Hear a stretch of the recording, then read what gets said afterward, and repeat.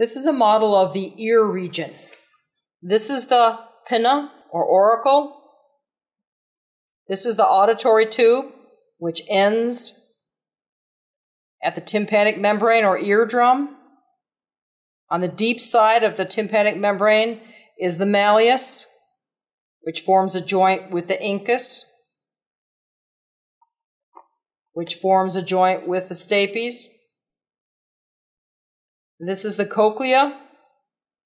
This is the vestibule and the semicircular ducts. Together they form the vestibular apparatus. This represents the vestibulocochlear nerve. So the vestibular apparatus and the cochlea together are the inner ear structures. The middle ear structures consist of the three ear ossicles, stapes, incus, malleus.